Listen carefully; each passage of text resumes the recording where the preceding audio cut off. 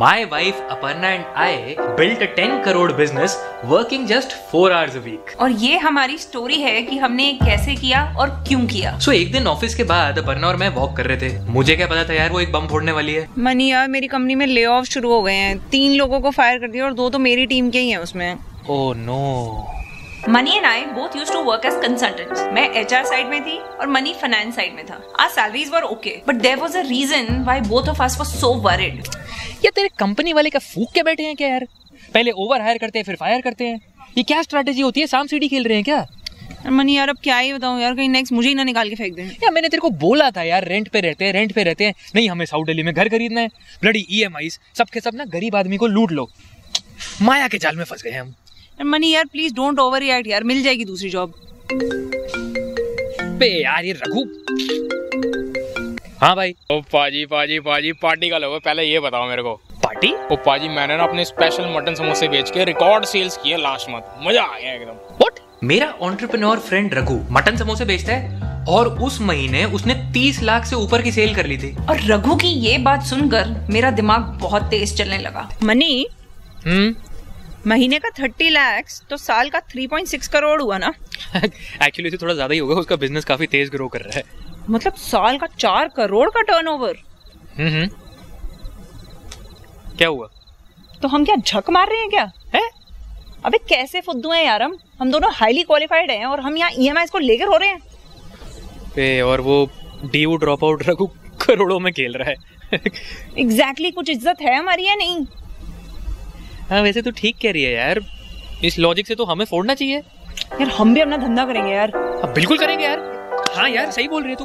तो हमने अपनी साइड हसल शुरू करने का प्लान बनाया। प्लान ये था कि जॉब करते करते हमारी कंपनी डिसेंट रेवेन्यू बनाना शुरू कर दे। And then quit jobs work full time on the company and get rich और हमने बिज़नेस आइडियाज़ पे डिबेट करना शुरू कर दिया। दो तीन दिन तक हम आइडियाज़ को टू एंड फ्रो फेंकते रहे। बट फिर भी हम इन डिसीज़न में फंसे रह गए। कुछ आइडियाज़ में फंडिंग बहुत चाहिए थी और कुछ आइडियाज़ में हमारी कोई यूएसपी नहीं बन रही थी। और ऐसा लग रहा था कि साइड हासिल करने का ड्रीम सिर्फ़ ड्रीम ही रह जाएगा।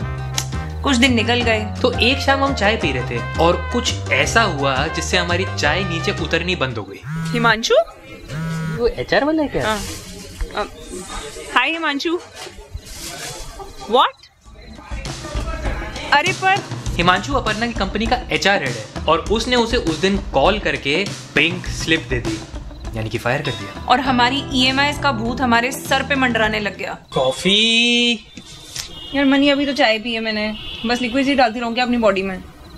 यार अपनी कंपनी का गुस्सा मेरे पे तो मत निकाल। यार मनी तू रघु को घर बुला मुझे उससे बात करनी है।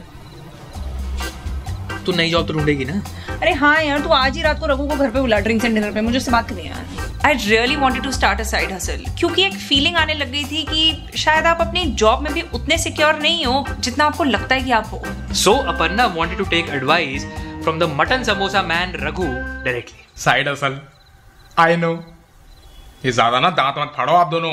ये जो साइड असल वगैरह ना चलने नहीं वाली आपकी। और भाभी जी I am rude guy job ढूंढना शुरू कर दो आप। ये ये यही होता है जब 25 साल की उम्र में ना तुक्के में इन लोगों के थोड़े बहुत धंधा चल जाता है।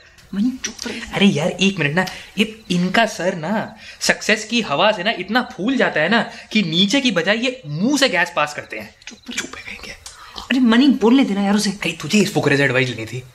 ओ पाजी बाबी जी आपको पता है मैं मटन समोसा ही क्यों बेचता हूँ? क्यों? क्योंकि मेरी स्ट्रेंथ है वो। मुझे उससे अच्छा कुछ आता ही नहीं है। अरे रघु ये क्या रीजन होता है यार? मार्केट डिमांड होती है सस्टेनेबिलिटी होती है। ओ भाभी जी मुझे ये सब नहीं पता यार। मैं सिर्फ़ मटन समोसा बेचता हूँ लोगों को पसंद है वो और इसलिए मैं उनको खिला देता हूँ। अबे ये क्या लॉजिक है यार? ऐसे तो अपर्णा और मुझे सिर्फ़ एक्सेल की स्प्रेडशीटें भरना आता है और कुछ आता नहीं है। ओ पाजी एक्सेल आता है आपको। ओ बस बोल रहे हो यार कमाल है यार। पाजी देखो मेरा फंडा तो एकदम क्लियर है। धंधा वो करो जो आपको काम ही ना लगे। It should be so easy for you that it should feel like fun and games और हाँ भाभी जी, और एडवाइस के लिए चार्ज करूँगा मैं आगे। अच्छा भाभी जी, जरा जोमेटो से मेरे मटन समोसे ऑर्डर कर रहे हैं।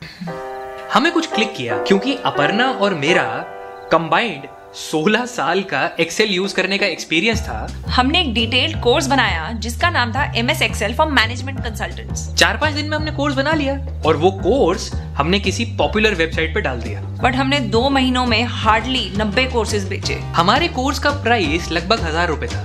तो हमने नब्बे कॉपीज बेच कर लगभग नब्बे हज़ार का रेवेन्यू तो जनरेट कर लिया था। ये ले यार एक और बिक गया कांग्रेट्स 98 कॉपी सोल्ड अरे मनी हमने मेरी डेढ़ महीने की सैलरी रिकवर कर लिया कैन यू बिलीव दिस हाँ बट यार तू ज़्यादा से ज़्यादा आठ दस और बेच लेगी है ये करने से नौकरी थोड़ी ना छूटेगी हमारी।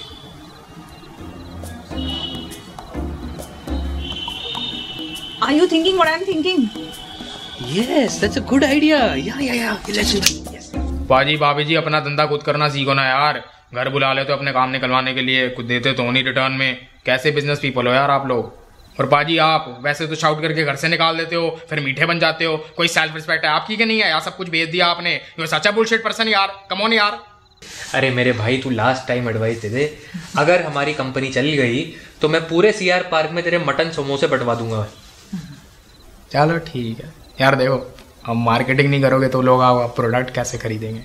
डिस्ट्रीब्यूट करना सीखो भाभी जी। अरे रघु सोशल मीडिया में ऐड डालूँगी तो प्रॉफिट नहीं आएगा यार।